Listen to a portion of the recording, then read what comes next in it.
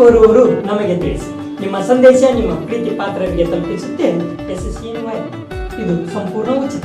Birthday, ಮದುವೆ ಸೇರಿದಂತೆ ಇತರೆ ಶುಭಾಶಯಗಳಾಗಿರಬಹುದು. ನಿಮ್ಮ ಸಂದೇಶವನ್ನ ನಿಮ್ಮವರಿಗೆ ನಾವು ತಲುಪಿಸುತ್ತೇವೆ. ಕೇವಲ ಒನ್ನೂರ ಒಂದು ಮತ್ತು ಎಚ್ ಡಿ ಒನ್ನೂರ ಹತ್ತು ಚಾನೆಲ್ನಲ್ಲಿ ನಿಮ್ಮ ನೆಚ್ಚಿನ ಎಸ್ ವೀಕ್ಷಿಸಬಹುದು. ಮನರಂಜನೆ ಜೊತೆ ಸುತ್ತಮುತ್ತ ಆಗು ಹೋಗುಗಳ ಸುದ್ದಿಯನ್ನು ನೋಡಿ. ಸಂಪರ್ಕಿಸಬೇಕಾದ number eight one nine seven four seven four double nine six nine double four nine six five three one six nine ನಮಸ್ಕಾರ ಎನ್ ನ್ಯೂಸ್ಗೆ ಸ್ವಾಗತ, ನಾನು ಶಂಕರ್ ರಾಠೋಡ್. ಮುಖ್ಯಾಂಶಗಳು ಮಂಗಳವಾರ ರಾತ್ರಿಯಿಂದ ಮತ್ತೆ ಕ್ಲೋಸ್ ಡೌನ್ ಹದಿನಾಲ್ಕು ದಿನಗಳ ಕಾಲ ಸಂಪೂರ್ಣ ನಿಷೇಧ, ಸಿಎಂ ಯಡಿಯೂರಪ್ಪ ಘೋಷಣೆ.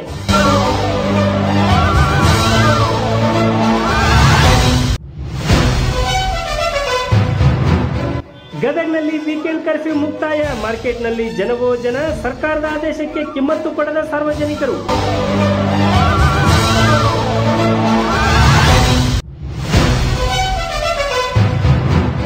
ಟಫ್ ರೂಲ್ ಜಾರಿ ಹಿನ್ನೆಲೆ. ಗದಗ್ನಲ್ಲಿ ಖಾಕಿ ಸರ್ಪಗಾವಲು. ಎಲ್ಲೆಡೆ ಕಟ್ಟೆಚ್ಚರ.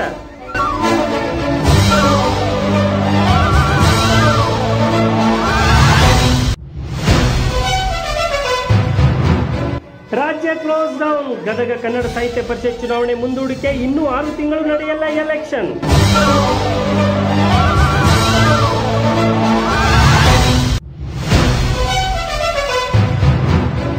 ಸಾಮರಸ್ಯದ ಕವಿಯ ಕೊಡುಗೆ ಅಪಾರ. ಎಂಡಿ ಗೋಗೇರಿ ಅಗಲಿಕೆಯಿಂದ ಬರಡಾದ ಸಾಹಿತ್ಯ ಲೋಕ.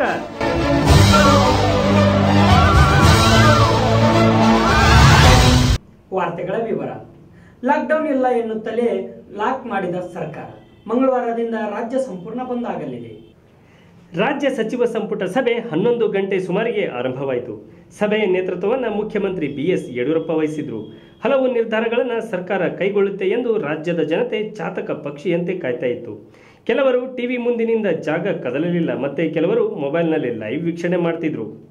ಸತತ ಮೂರು ಗಂಟೆಗೂ ಹೆಚ್ಚು ಕಾಲ ಸಭೆ ನಡೆಯಿತು. ಎಲ್ಲವನ್ನ ಕುಲಂಕುಷವಾಗಿ ಸಭೆಯಲ್ಲಿ ಚರ್ಚಿಸಲಾಯಿತು. ಏಪ್ರಿಲ್ ಮೊದಲ ವಾರ ಹೇಳಿದ ಮಾತು ಮತ್ತು ಸರ್ಕಾರ ಏಪ್ರಿಲ್ ಕೊನೆಯದ ಕೊನೆಯಲ್ಲಿ ಹೇಳುತ್ತಿರುವುದಕ್ಕೆ ಅಜಗಜಾಂತರ ವ್ಯತ್ಯಾಸ ಕಂಡುಬಂತು. ಮೊದಲು ಬೆಂಗಳೂರಿಗಷ್ಟೇ ಲಾಕ್ ಮಾಡ್ತಾರೆ ಎನ್ನಲಾಗಿತ್ತು. ಪ್ರತಿದಿನ ಬೆಂಗಳೂರಿಗೆ ತೆಳುವವರ ಸಂಖ್ಯೆಯೂ ಹೆಚ್ಚಾಗಿದೆ. ಇದರಿಂದ ಲಾಕ್ಡೌನ್ ಮಾಡುವ ಕುರಿತು ಚರ್ಚೆ ಮಹತ್ವ ಪಡೆದಿತ್ತು.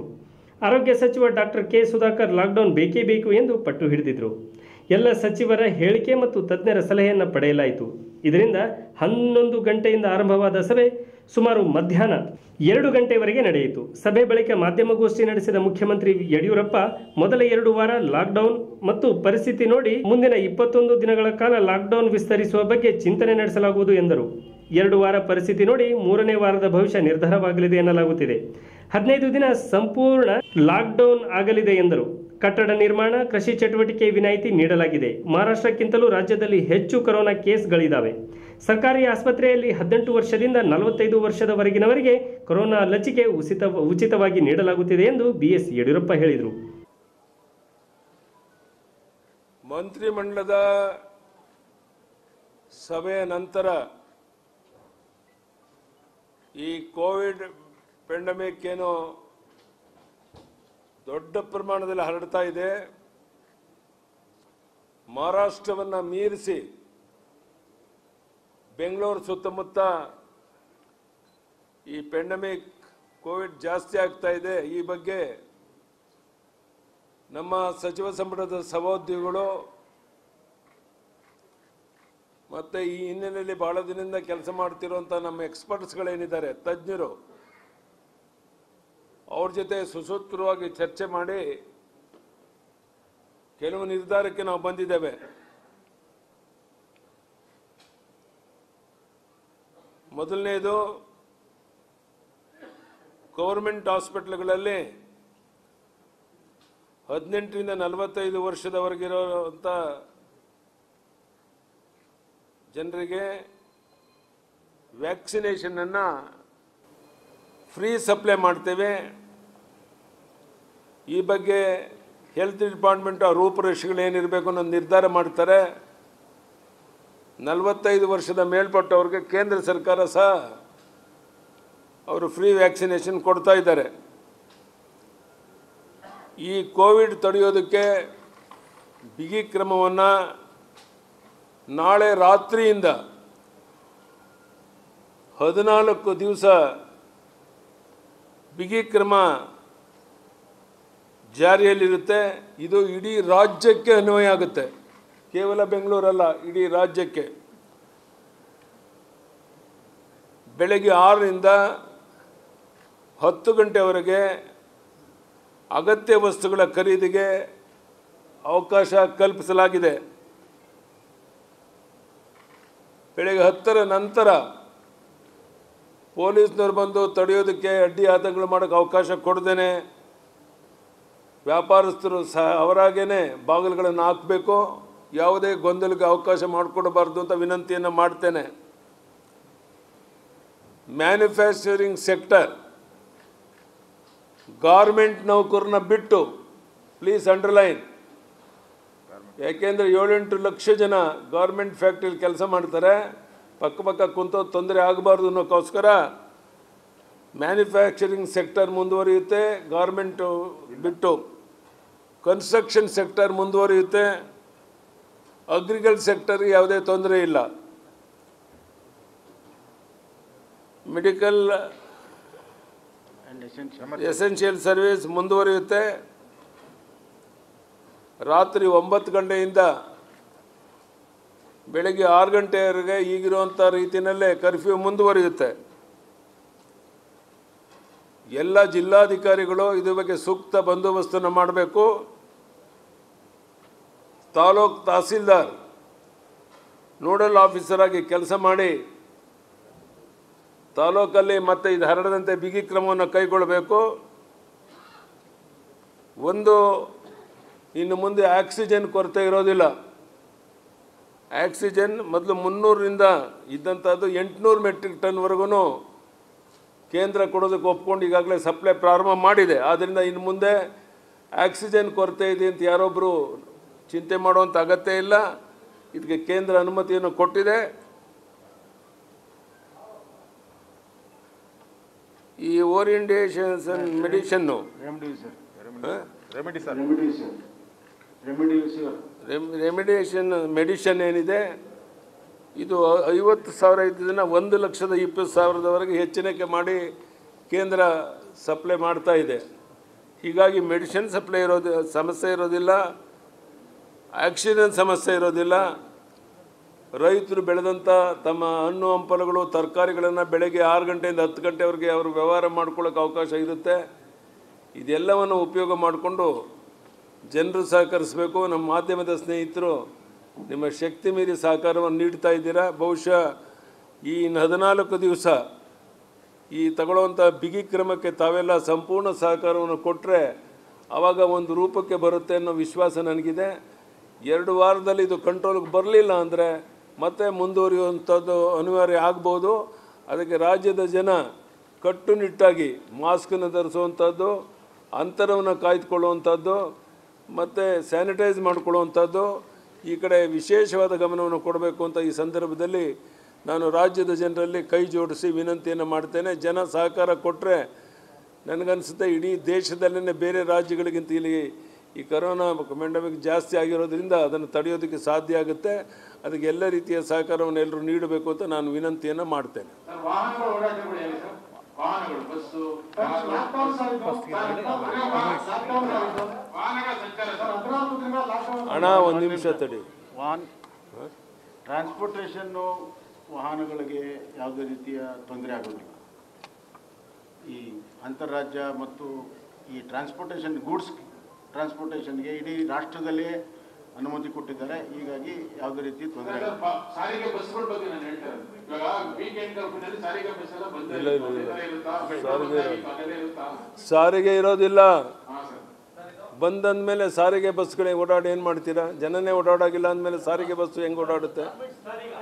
ಒಂದು ರಾಜ್ಯದಿಂದ ಮತ್ತೊಂದು ರಾಜ್ಯಕ್ಕೆ ಗೂಡ್ಸನ್ನ ಸಾಗಾಕಣೆ ಮಾಡೋಕ್ಕೆ ಯಾವುದೇ ಅಡ್ಡಿ ಆತಂಕಗಳು ನಮ್ಮ ಸರ್ಕಾರ ಮಾಡೋಲ್ಲ. ಆ? ಇಲ್ಲ ಗಾರ್ಮೆಂಟ್ಸ್ ಬಂದು ಬಂದು ಇಲ್ಲಪ್ಪ. ಗಾರ್ಮೆಂಟ್ ಗಾರ್ಮೆಂಟ್ ಬಂದು. ಬಂದು. ಗಾರ್ಮೆಂಟ್ಸ್ ಬಂದು. ಗಾರ್ಮೆಂಟ್ ಬಂದಪ್ಪ.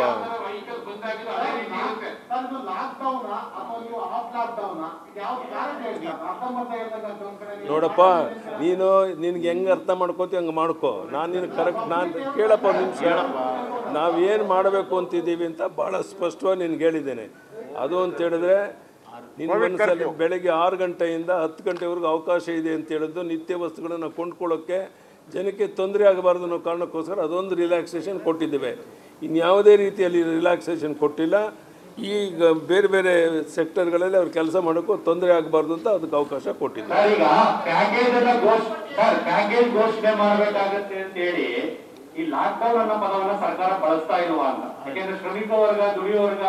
ಅದನ್ನು ಕೂಡ ನೀವು ನೋಡಬೇಕು ಅಂತ ಇಷ್ಟು ದಿನ ಹೇಳ್ತಾ ಇದ್ರಿ. Covid curfew. ಕೋವಿಡ್ ಲಾಕ್ಡೌನ್ ಅಂತ. ಕೋವಿಡ್ ಘೋಷಿತ ಲಾಕ್ಡೌನ್ ಆಗುತ್ತಾ ಅಂತ. ಯಾವ ಪದ ಬಳಕೆಗೆ ಹಿಂದೇಟ್ ಆಗ್ತಾ ಇದೆ ಸರ್ಕಾರ? ಪದ ಬಳಕೆ ಮಾಡೋದು ಇಂಪಾರ್ಟೆಂಟ್ ಅಲ್ಲ. ಯಾವ ಕ್ರಮಗಳನ್ನು ತೆಗೆದುಕೊಳ್ತೀವಿ ಅನ್ನೋದು ಇಂಪಾರ್ಟೆಂಟ್ ಹೀಗಾಗಿ ಇವತ್ತು ನಮ್ಮಲ್ಲಿ ಅಲ್ಲ ಒಂದು ನಿಮಿಷ ಸುದೀರ್ಘವಾಗಿ ಚರ್ಚೆ ಆದಮೇಲೆ ಇಲ್ಲಿ ಜೀವನೋಪಾಯಕ್ಕೆ ಬೇಕಾಗಿರುವಂಥ ದಿನನಿತ್ಯ ಇದಕ್ಕೆ ತೊಂದರೆ ಆಗಬಾರ್ದು ಅಂತ ಟೈಮಿಂಗನ್ನು ಕೆಲವು ಕೊಟ್ಟಿದ್ದೀವಿ ಕೆಲವು ಎಕ್ಸಮ್ಷನ್ ಕೊಟ್ಟರೆ ಮಿಕ್ಕಿದ್ದೆಲ್ಲವೂ ಕೂಡ ನಿಷೇಧ ಆಗಿದೆ ರಾತ್ರಿ ಕರ್ಫ್ಯೂ ಕೂಡ ಕಟ್ಟುನಿಟ್ಟಾಗಿ ಜಾರಿಯಾಗುತ್ತೆ ಇದು ಬಹಳ ಸ್ಪಷ್ಟವಾಗಿದೆ. ಇನ್ನು ಏ ಅಣ್ಣ. ಒಂದ್ ನಿಮಿಷ ಒಂದ್ ನಿಮಿಷ. ಒಂದ್ ನಿಮಿಷ. ಒಂದು ನಿಮಿಷ ಅಪ್ಪ ಅದನ್ನು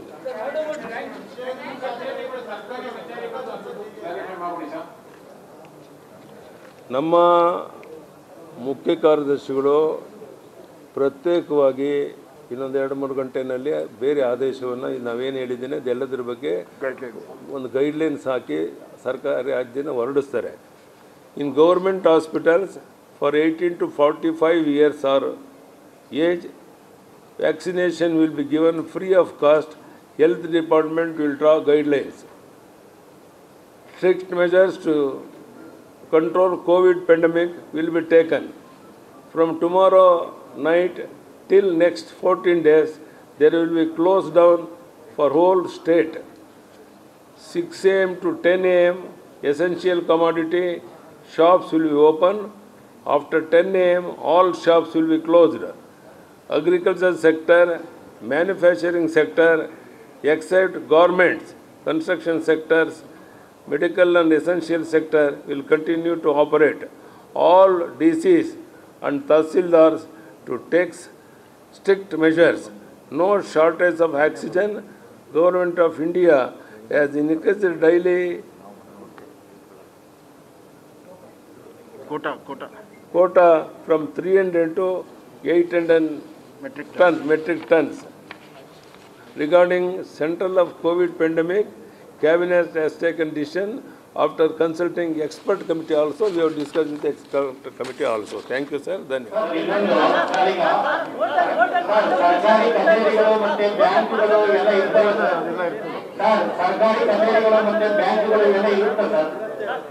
Essential sir sir ಈಗ ಒಂದು ಒಂದೇ ನಿಮಿಷ ಆಫೀಸ್ ಇರುತ್ತೆ ಒಂದೇ ನಿಮಿಷ essential ಸರ್ವಿಸಲ್ಲಿ essential service essential services sectors ಎಲ್ಲ ಏನಿದೆ ಅದು ಇರ್ತದೆ. ಮತ್ತು parcel ತೆಗೆದುಕೊಂಡು ಹೋಗೋದಕ್ಕೆ take away ಗೆ ಅದು ಕೂಡ ಅವಕಾಶ ಇದೆ. ಪೊಲೀಸು ಹೆಲ್ತ್ ಅವರು sir. Non essential services until 9 9 am 9 pm essential services sir essential service ಏನಿದೆ? ಪೊಲೀಸ್ ಡಿಪಾರ್ಟ್ಮೆಂಟು ಹೆಲ್ತ್ ಮತ್ತೆ ರೆವಿನ್ಯೂ ರೆವಿನ್ಯೂ ಈ ಥರ ಕೆಲವು ಇಲಾಖೆಗಳು ಕೆಲಸ ಮಾಡುತ್ತೆ ಉಳಿದೆಲ್ಲ ಕ್ಲೋಸ್ ಮಾಡಿ ಕೋವಿಡ್ ಕೋವಿಡ್ ಬೇಕಾದ್ರೆ. ಕೋವಿಡ್ ಹಿನ್ನೆಲೆ ಹಾಂ ಅದ್- ಅದೊಂದು ಜಿಲ್ಲಾ ಪಂಚಾಯತಿ ಎಲ್ಲ ಮುಂದಕ್ಕೆ ಮುಂದಾಗಿ ಎಲ್ಲ ಎಲೆಕ್ಷನ್ಗಳನ್ನು ಮುಂದಾಕಿದ್ದೀವಿ. ಯಾವುದೇ ಎಲೆಕ್ಷನ್ ಮಾಡಿದ್ದೀವಿ ದಿವಸಗಳು ನಡೆಯೋದಿಲ್ಲ. ಇನ್ನು ಆರು ತಿಂಗಳು ಎಲ್ಲ ಎಲೆಕ್ಷನ್ ಅನ್ನ ಮುಂದಾಕುವಂತ ತೀರ್ಮಾನವನ್ನು ತಗೊಂಡಿದ್ದೀವಿ. ಶಿಫಾರಸ್ತು ಶಿಫಾರಸ್ತು. ಎಲೆಕ್ಷನ್ ಕಮಿಷನ್ ಶಿಫಾರಸ್ ಶಿಫಾರಸ್ತು ಸರ್. ಶಿಫಾರಸ್ತು ಮಾಡ್ತಾ ಇದ್ದೀವಿ. ಸರ್ ನಾನು ಹೇಳ್ತೀನಿ. ಸ್ವಲ್ಪ ಎಲ್ಲ ಎಲೆಕ್ಷನ್ ಅನ್ನ ಮುಂದಾಗೋದಕ್ಕೆ ಶಿಫಾರಸ್ ಮಾಡ್ತಾ ಇದ್ದೀವಿ. ಇಲೆಕ್ಷನ್ ಕಮಿಷನ್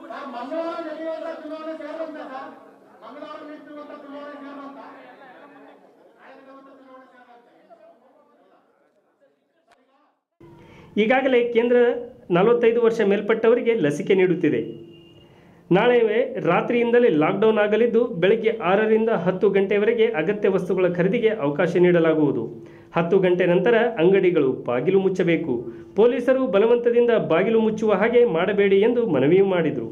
ರಾತ್ರಿ ಒಂಬತ್ತರಿಂದ ಬೆಳಗ್ಗೆ ಆರರವರೆಗೆ ಯಥಾಸ್ಥಿತಿ ಕರ್ಫ್ಯೂ ಜಾರಿಯಲ್ಲಿರುತ್ತದೆ. ಆಯಾ ಜಿಲ್ಲೆಯ ಜಿಲ್ಲಾಧಿಕಾರಿಗಳು ಕಟ್ಟುನಿಟ್ಟಿನ ಕ್ರಮ ಕೈಗೊಳ್ಳಬೇಕೆಂದು ಹೇಳಿದರು.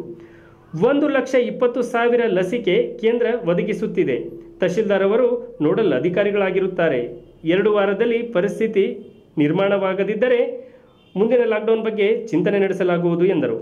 ಇದೇ ವೇಳೆ ಮಾಧ್ಯಮ ಕೂಡ ಜನರಿಗೆ ತಿಳಿಸುವ ಕೆಲಸ ಮಾಡುತ್ತಿದೆ ಎಂದು ತಿಳಿಸಿದರು. ಜನರೇ ಓಡಾಡುವುದಿಲ್ಲ, ಇನ್ನು ಸಾರಿಗೆ ಯಾಕೆ ಎನ್ನುತ್ತಲೇ ಸಾರಿಗೆ ಇರುವುದಿಲ್ಲ. ಒಂದು ರಾಜ್ಯದಿಂದ ಮತ್ತೊಂದು ರಾಜ್ಯಕ್ಕೆ ಗೂಡ್ಸ್ ವಾಹನಗಳು ಓಡಾಡಬಹುದು. ಗಾರ್ಮೆಂಟ್ ಕೆಲಸ ಸಂಪೂರ್ಣ ಬಂದ್ ಆಗಲಿದೆ. ಜೀವನೋಪಾಯಕ್ಕೆ ಬೇಕಾದ ವಸ್ತುಗಳು ಮಾತ್ರ ಸಿಗಲಿದೆ. ಉಳಿದೆಲ್ಲವೂ ಬಂದ್ ಬಂದ್ ಬಂದ್. ಆದರೆ ಸರ್ಕಾರ ಎಲ್ಲೂ ಲಾಕ್ಡೌನ್ ಪದ ಬಳಸದೆ ಸಂಪೂರ್ಣವಾಗಿ ಲಾಕ್ ಮಾಡಿದೆ. ಜನಸಾಮಾನ್ಯರಲ್ಲಿ ದುಡ್ಡಿಲ್ಲ. ಆರ್ಥಿಕ ಚಟುವಟಿಕೆ, ಕೊರೋನಾ ನಿಯಂತ್ರಣ ಎರಡನ್ನೂ ಗಮನಿಸಿ ಸರ್ಕಾರ ಕ್ರಮ ಕೈಗೊಂಡಿದೆ. ಈಗ ಜನರ ಜವಾಬ್ದಾರಿ ಅಂದರೆ ಸರ್ಕಾರದ ಆದೇಶ ಪಾಲಿಸಿ, ಅದಾದ ನಂತರ ಸರ್ಕಾರದ ಕಾರ್ಯವೈಖರಿ ಪ್ರಶ್ನೆ ಮಾಡಬಹುದು. ಹದಿನಾಲ್ಕು ದಿನ ಬಿಗಿ ಬಂದೋಬಸ್ತ್ ಇರುತ್ತದೆ. ಪೊಲೀಸ್, ಆರೋಗ್ಯ ಮತ್ತು ಕಂದಾಯ ಇಲಾಖೆ ಬಿಟ್ಟು ಉಳಿದ ಯಾವ ಇಲಾಖೆಯೂ ಕೆಲಸ ನಿರ್ವಹಿಸುವುದಿಲ್ಲ. ವೀಕೆಂಡ್ ಲಾಕ್ಡೌನ್ ಮುಕ್ತಾಯ ಆಗುತ್ತಿದ್ದಂತೆ ಗದಗ್ ಮಾರ್ಕೆಟ್ನಲ್ಲಿ ಜನರು ತಮ್ಮ ಜವಾಬ್ದಾರಿ ಮರೆತಿದ್ದಾರೆ. ವೀಕೆಂಡ್ ಲಾಕ್ಡೌನ್ ಮುಕ್ತಾಯ ಆಗುತ್ತಿದ್ದಂತೆ ಗದಗ್ ಮಾರ್ಕೆಟ್ನಲ್ಲಿ ಜನಸ್ತೋಮವೇ ಸೇರಿದೆ. Gadag APMC market, green market ಹಾಗೂ ರಂಗನವಾಡಿ ಮಾರ್ಕೆಟ್ಗೆ ಜನ ಖರೀದಿಗೆ ಮುಗಿಬಿದ್ದಿದ್ದಾರೆ. ಒಂದೆಡೆ ಜನದಟ್ಟಣೆ ಆಗಬಾರದು ಅಂತ ಗ್ರೀನ್ ಮಾರ್ಕೆಟ್ನಲ್ಲಿ ಮೂರು ಕಡೆಗಳಲ್ಲಿ ಸ್ಥಳಾಂತರ ಮಾಡಲಾಯಿತು. ಆದರೂ ಜನ ಎಲ್ಲಾ ಕಡೆ ಜಮಾಯಿಸುತ್ತಿದ್ದಾರೆ. ಕೊರೋನಾ ಭಯವಿಲ್ಲದೆ ಸರ್ಕಾರದ ಟಫ್ ರೂಲ್ಸ್ಗಳಿಗೆ ಕವಡೆ ಕಾಸಿನ ಕಿಮ್ಮತ್ತು ನೀಡದೆ ವ್ಯಾಪಾರಸ್ಥರು, ಸಾರ್ವಜನಿಕರು ಬೇಜವಾಬ್ದಾರಿ ವರ್ತನೆ ತೋರುತ್ತಿದ್ದಾರೆ. ಹರಾಜು ಪ್ರಕ್ರಿಯೆ ಹಾಗೂ ಮಾರಾಟದ ಭರಾಟೆಯಲ್ಲಿ ದಲ್ಲಾಳಿಗರು, ವ್ಯಾಪಾರಸ್ಥರು, ಗ್ರಾಹಕರು ಸಾಮಾಜಿಕ ಅಂತರ, ಮಾಸ್ಕ್ ಮರೆತಿದ್ದಾರೆ.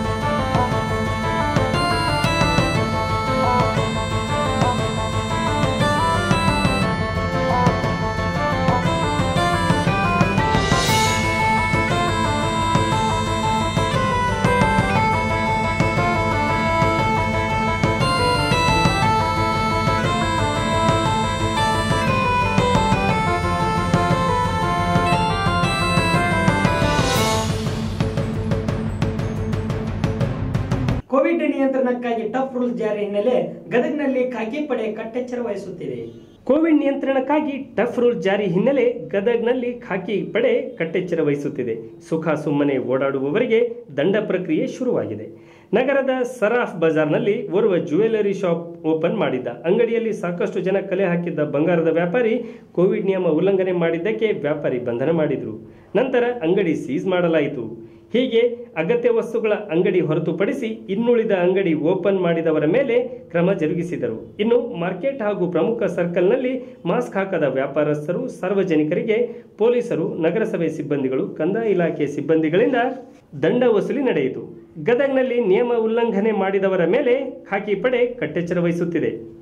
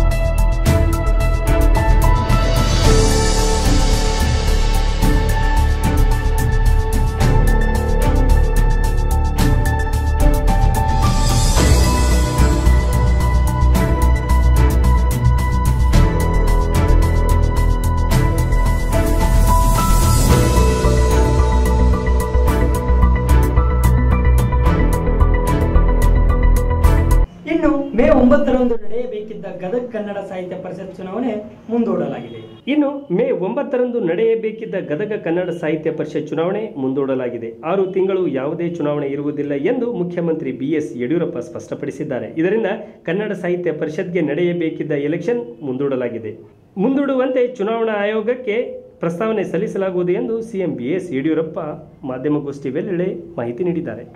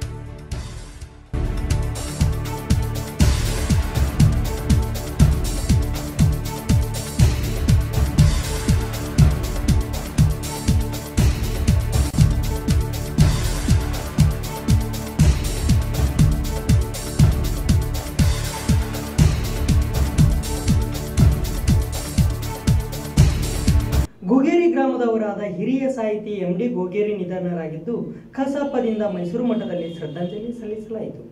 ಗೋಗೇರಿ ಗ್ರಾಮದವರಾದ ಹಿರಿಯ ಸಾಹಿತಿ, ಶಿಕ್ಷಕ, ಹಾಸ್ಯ ಬರಹಗಾರ, ಕಡೆಮನಿ ಹನುಮಂತಪ್ಪ ಖ್ಯಾತಿಯ ಎಂಡಿ ಗೋಗೇರಿ ಹುಬ್ಬಳ್ಳಿಯಲ್ಲಿ ನಿಧನರಾಗಿದ್ದು, ಅವರಿಗೆ ಕಸಾಪ ಗಜೇಂದ್ರಗಡ ರೋಣ ತಾಲೂಕು ಘಟಕದಿಂದ ಮೈಸೂರು ಮಠದಲ್ಲಿ ಶ್ರದ್ಧಾಂಜಲಿ ಸಲ್ಲಿಸಲಾಯಿತು. ಈ ವೇಳೆ ಶಿಕ್ಷಕ ಕೆಜಿ ಸಂಗಟಿ ಮಾತನಾಡಿ, ಮಕ್ಕಳ ಸಾಹಿತ್ಯದಲ್ಲಿ ಸಾಕಷ್ಟು ಹೆಸರು ಗಳಿಸಿದ್ದ ಗೋಗೇರಿಯವರು ತಮ್ಮ ಸ್ವಂತ ಊರಿನ ಹೆಸರನ್ನೇ ಅಡ್ಡ ಹೆಸರನ್ನಾಗಿ ಬದಲಾವಣೆ ಮಾಡಿಕೊಂಡು ಊರಿನ ಪ್ರೀತಿಯನ್ನ ಅಜರಾಮರಗ, ಅಜರಾಮರವಾಗುವಂತೆ ಪ್ರೀತಿಸಿದವರು ಎಂದರು.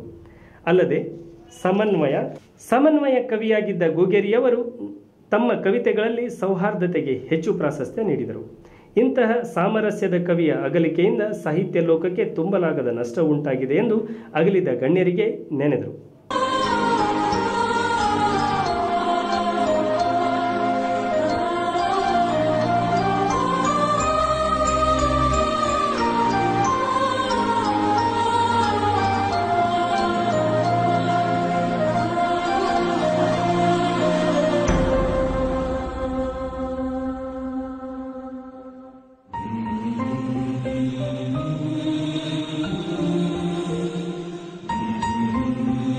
ಕಸಾಪ ತಾಲೂಕು ಅಧ್ಯಕ್ಷ ಅಯ್ಯ ರೇವಡಿ ಮಾತನಾಡಿ, ಚುನಾವಣೆಗೆ ನಿಂತ ನಮ್ಮ ಕಡೆಮನೆ ಹನುಮಂತಪ್ಪ ಎನ್ನುವ ವಿಡಂಬನಾತ್ಮಕ ಕವಿತೆಯ ಮೂಲಕ ನಾಡಿನಲ್ಲಿ ಮನೆ ಮಾತಾಗಿದ್ದ ಹಿರಿಯ ಸಾಹಿತಿಯನ್ನು ಕಳೆದುಕೊಂಡು ಕನ್ನಡ ಸಾಹಿತ್ಯ ಲೋಕ ಬಡವಾಗಿದೆ. ಗಜೇಂದ್ರಗಡ ಬೆಟ್ಟದ ವೈಭವ ಕವನದ ಮೂಲಕ ಹಾಡಿ ಹೊಗಳಿದ್ದು, ಹೆಗ್ಗಳಿಕೆಗೆ ಗೋಗೆರಿಯವರಿಗೆ ಸಲ್ಲುತ್ತದೆ ಎಂದರು. ಗ್ರಂಥಪಾಲಕ ಸುರೇಶ್ ಪತ್ತಾರ್ ಮಾತನಾಡಿ ಸಾಮರಸ್ಯ ಸಂಕೇತಗಳನ್ನು ಬರವಣಿಗೆಯಲ್ಲಿ ಬಳಸಿಕೊಂಡು ರಾಮ ರಹೀಮರು ಒಂದೇ ಎನ್ನುವ ಸಂದೇಶಗಳ ಮೂಲಕ ಸಮಾಜದಲ್ಲಿ ಸಮಾನತೆಯ ಕೊಂಡಿಯನ್ನು ಗಟ್ಟಿಗೊಳಿಸಿದರು. ಹಾಸ್ಯದ ಮೂಲಕ ಕನ್ನಡಿಗರಲ್ಲಿ ಭಾವೈಕ್ಯತೆಯ ಕೊಂಡಿಯಾಗಿದ್ದರು ಎಂದರು.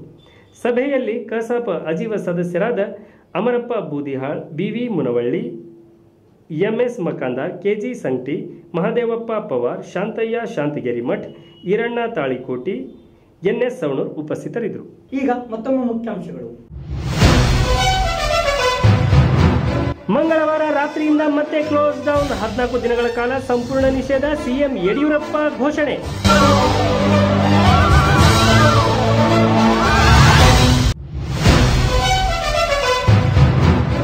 ಗದಗ್ನಲ್ಲಿ ವೀಕೆಂಡ್ ಕರ್ಫ್ಯೂ ಮುಕ್ತಾಯ. ಮಾರ್ಕೆಟ್ನಲ್ಲಿ ಜನವೋ ಜನ ಸರ್ಕಾರದ ಆದೇಶಕ್ಕೆ ಕಿಮ್ಮತ್ತು ಪಡೆದ ಸಾರ್ವಜನಿಕರು.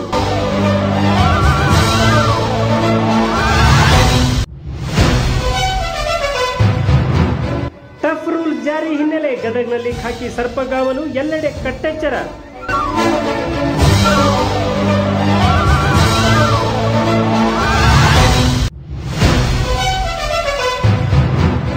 ರಾಜ್ಯ ಕ್ಲೋಸ್ ಡೌನ್. ಗದಗ ಕನ್ನಡ ಸಾಹಿತ್ಯ ಪರಿಷತ್ ಚುನಾವಣೆ ಮುಂದೂಡಿಕೆ. ಇನ್ನೂ ಆರು ತಿಂಗಳು ನಡೆಯಲ್ಲ ಎಲೆಕ್ಷನ್.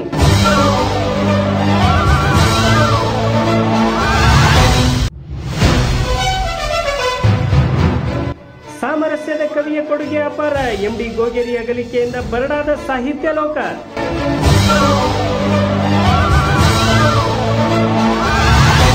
ಇವಿಷ್ಟು ಇಂದಿನ ಸುದ್ದಿಗಳು. ನಿರಂತರ ಸುದ್ದಿಗಾಗಿ ವೀಕ್ಷಿಸಿ ಎಸಿಎನ್ ನ್ಯೂಸ್, ಗಜೇಂದ್ರಗಡ. ವಂದನೆಗಳು.